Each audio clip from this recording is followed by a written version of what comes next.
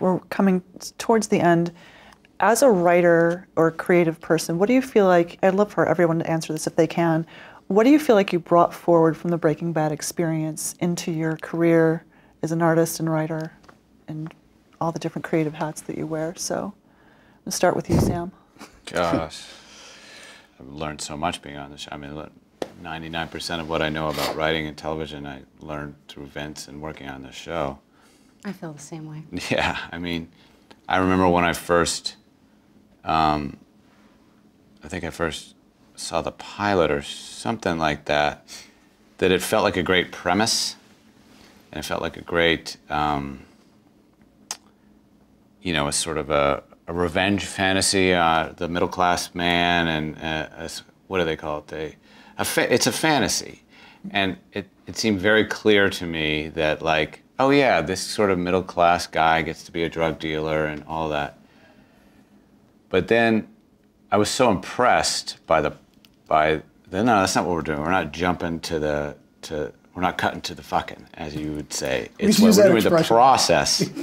the process, the love of detail, the love of the moment to moment um, that you know that Vince just held us all account to account to, which is just like what what what's interesting about this next moment, not some moment that you're setting up or teeing up and stuff like that. Um, in terms of storytelling, that letting other people, you know, hiring great people and and letting them do their jobs but I mean, to me, it's just it's just mostly like it's just this cloud of what I'm not doing in my life. That when when I you know, it's like, what would Vince do? What would what would work on Breaking Bad? And it's like, oh shit, I'm not doing that. oh God. So it's an immense guilt. Just, it's guilt. It's shame. Yeah, he taught me shame. Good at um, I haven't seen it. For, for me, what I carry forward. Um, I mean, I, I really feel like, as Sam did, like I learned everything that I know about writing and crafting uh, story and character from Vince and from this experience in the room. Um, and what I've taken moving forward is the love, the obsession of excruciating detail. Mm. And, and a love of breaking story organically as opposed to whatever that language is that I don't speak, which is A story, B story, C story, runner it doesn't mean anything if you don't know mm-hmm. where the characters' heads are at. And if you don't know why they're motivating to do the things that they do, and if you're not willing to sit there and suffer through the, you know, the elemental, uh, intimate, excruciating conversations that get to the heart of the matter. So that's that's what I'm carrying forward into my work that I do now.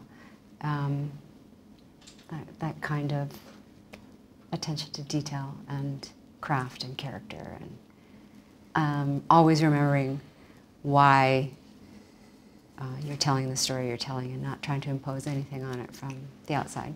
Mm. Yeah, what, what they said. Uh, plus, I mean, it's it's there's so there's so much that we could say. I mean, it, yeah. was there was a the, I'd say one of the things I learned. Uh, I'd never been, been in a writer's room before, uh, and I learned the value of a safe room and the fact that we could all sit in that room and say what was on our minds and maybe pitch 50 terrible ideas to the one great one. That meant an awful lot. And the fact that Vince was always willing to pursue any avenue, any avenue that you bring up. He, he, he, he almost never said, let's not go there. Let's, let's, let's look through the consequences of this idea and to really spend the time to think about uh, what these people would do in real life and what, what really, what, what, what did this mean? The, another thing that I, that I learned, and we could go on forever, is to look backwards instead of looking forwards. Yeah. In other words, a lot, as we went on, the more we went on, the more I realized that some of the ideas that we got most excited about were looking back at things that were already in the story. Uh, you know, one example is, is, is in the pilot, you see that Walt worked on uh, work that uh, he contributed to, to work that won the Nobel Prize. And you say, well, how did this happen? And the more times you come up with questions about the characters, a little, little things, or what was that character doing when they were off screen? Uh, how did this person get like this? Uh, there are two, we see two chicken brothers uh, in the Pollos Hermanos logo. Who's the other chicken brother? and just stuff like that, just to really go back through the world and take it all very seriously. Uh, instead of grasping for the thing, the low-hanging fruit. Oh, this will be exciting. Let's have this happen. Uh, and it's, it's a certain dogged uh, a certain dogged quality uh, to be to, to be just follow every idea to its logical conclusion. And sometimes that was incredibly frustrating uh, because sometimes I would have the feeling in the room, this is this particular idea is never going to happen. It's not going to work. Sometimes I was right, and sometimes I was completely wrong. So I think there's a certain uh, openness that that I learned from Breaking Bad. Trust. Trust. Yeah. Trust that, you know, I think that that's something that's, you know, having written about television for a long time, that um, when people feel free to throw out ideas and explore them and, and there's a sense of trust and camaraderie like that that tends to produce a better show i think doesn't it? I, I always felt maybe like, i'm crazy. I, I always felt like i got undue credit for that. It's it's not for being a nice guy or anything. It just uh, it, why would you shut people down if they're you're paying them to be there and give you their best and then say that was stupid. We're not doing that. When people could- do that to me i'm going to stop talking you know? Yes i there are people who do that No, no. doesn't sound like you've been one of them though Yeah, well, you know what? The interesting thing about this job, there's no one right way to do it. And that's one of the many things I love about it. There's no one right way to do it. But you know, as for me, I mean, what did I learn? I learned everything. I mean, I, I mean, I wouldn't have been able to have the base knowledge to do this job if I hadn't, if I hadn't uh, been on the X Files for seven years. Uh, but I still was felt so far behind the eight ball when I got the job. I, I didn't, couldn't believe they were going to let me direct the pilot. I thought, oh God, this is, I'm gonna. I just, fear drove me. every, every minute of every day, fear drove me. Uh, but I, I learned so much from these folks. I did, you know, you know, I just, it, it was such, and, and some of the, most of the very best moments were, were moments I had, I was, I was in proximity to them when they happened, you know, when they were hatched or birthed or whatever. But I just, uh, I remember that time, uh, George. I remember uh, we had the, the scene where the, the uh, DEA agent, uh, where, the, where the head is on the Oh, yeah. tortoise. Uh, the, the, uh, this is one I always remember. We had the we had the head on the tortoise, and we had come up with that as a group in the in the in the room. And I was I was I, was, I, I literally said we can go home early today because this is like the coolest image. I you know it was arrived at, you know, with the with the hive mind, and we got the head and the tortoise, and I literally said, "Let's go home early. This is great." and then George says, and then he touches the head, and the head blows up, and I said, "Oh man, now you've gone too far. That's just let's just let's stop while ahead, while we're ahead." here." Like, what? That's too far. and it was, it was like, and then it was like, George wait a minute, things that's up. genius. Just I learned that. Uh, hell, I think I knew it already, but I, I had it proven to me time and time again that that uh, just when you are surrounded by people who are smarter than you are, anything's possible. Just so long as you keep listening to them. never quit while you're ahead And you know what? On Never a quit while tortoise. you're ahead. I'm tempted to get up and storm out of this, out of this, just because of that joke. i'm sorry i had to someone had to do the corniest joke it should be me uh, jennifer what was uh, Uh, well, I was really lucky because this was my first writing job. You know, I started as an assistant and then uh, started writing in season three and then came on full time in season four. Um, so kind of my entire, you know, grow like growing as a writer when you're finding your voice happened on the show. And I'm very, very lucky in that sense. So specifically the stuff that really resonated for me is the idea that everything kind of comes from character. So a lot of people always say, how do you like when people ask me about writing, they're like, oh, well, how do you figure out your theme? And I never think of theme because I just, it's about, well, what's the story I'm telling about this character and where does that lead them? And then those themes come out Yes. because it's like whatever that character is looking for, that ends up being your theme. So just, as we said, always grounding it in character, that's going to inform plot, themes, even your setting sometimes, like all that stuff.